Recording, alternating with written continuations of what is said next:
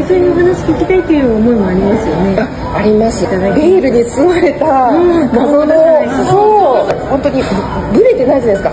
全てがこうこうですこうですこうですっていう言い切りもうもう本当ブレがないので、そこそこですよね。すごい名古屋からね東京まで来ようとされたのは、はい、そこです。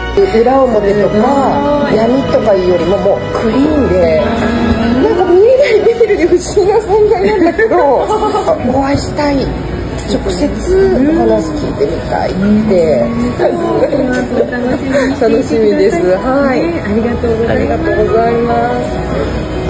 す。すっかりこんな時間になってしまいましたが、あの私が SNS にアップしている動画などを見て、まあ、創業者のね凄さを感じ取ってくださるほど想像力が豊かで。今とってもなんなんだろう、あったかい気持ちで、私はちょっとやっぱパニック障害があるから、初めて皆さんにお会いしたのに、以前から知っているような安心感と、えだから温かい気持ちで、なんかお腹いっぱい心もいっぱいっていうなんか幸せな時間を過ごすことがまずできたのがもう本当来てよかった。